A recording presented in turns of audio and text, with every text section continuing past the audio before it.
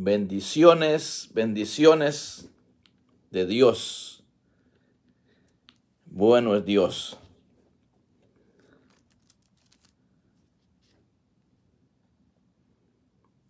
Bueno, quiero compartir unos dos versículos nada más que están en Hebreos capítulo 3.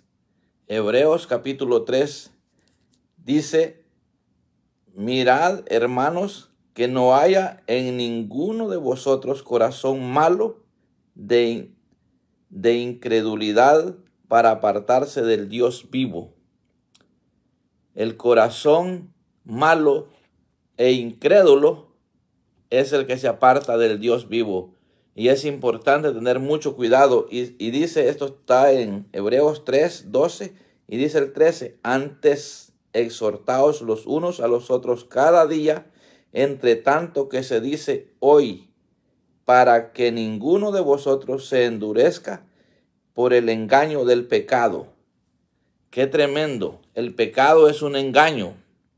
Mientras el hombre piensa que todo va a marchar bien, la situación se pone difícil cuando alguien peca. Así es que es importante, amados hermanos, estar atentos cuando veamos un hermano un poco decaído, pues hay que animarlo, hay que exhortarlo, porque el pecado es un engaño. Ya pecando hay consecuencias, el pecado trae consecuencias. Yo quiero uh, invitarles a, a meditar en esto. Le voy a leer, dice, mirad hermanos que no haya en ninguno de vosotros corazón malo de incredulidad para apartarse del Dios vivo cuando el corazón se llena de maldades, cuando la incredulidad le invade y fácilmente el engaño del pecado llega al creyente y debemos de tener mucho cuidado. Dios les bendiga, solamente quise que piensen en eso, ¿verdad? Es necesario que nos exhortemos los unos a los otros, entre tanto que se dice hoy, para que ninguno de vosotros se endurezca por el engaño del pecado.